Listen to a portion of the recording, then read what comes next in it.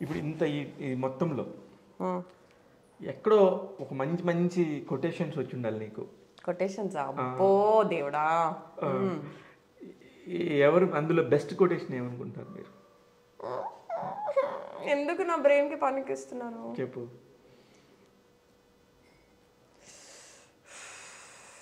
Patience is the key. అంతే చాలు. ఒకటి చాలు. కొటేషన్ ఒకటే ఉండాలి. పది ఉండదు అంటే మీకు వచ్చిన బెస్ట్ కాంప్లిమెంట్స్ కూడా ఉంటాయి కదా కొన్ని. ఓ అలా అన్నారా?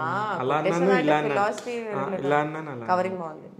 థ్యాంక్ యూ డైరెక్ట్గా పనికి వస్తాను నేను కవర్ చేసిన సంగతి కనిపెట్టేసి కాంప్లిమెంట్స్ లాగానా?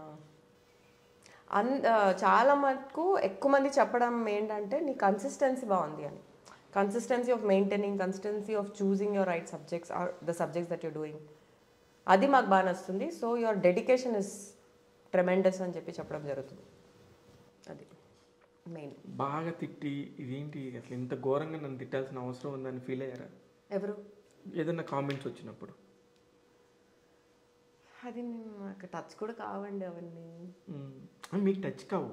అంటే వినండి. ఇప్పుడు బూతులో లెవెల్స్ ఉంటాయి కదా. బూతు అన్నప్పుడే బూతు నాకు. అది ఎన్ని లెవెల్స్లో వెళ్ళినా. ఏ స్టూపిడ్ అన్న ఒకటే అన్న ఒకటే నాకు. సో స్టూపిడ్కే నేను రియాక్ట్ అవ్వనప్పుడు లంచ్కి ఎందుకు రియాక్ట్ అవుతా అంటున్నా. అర్థమైంది. ర్యాపిడ్ ఫైర్ ఇది కాదు కదా.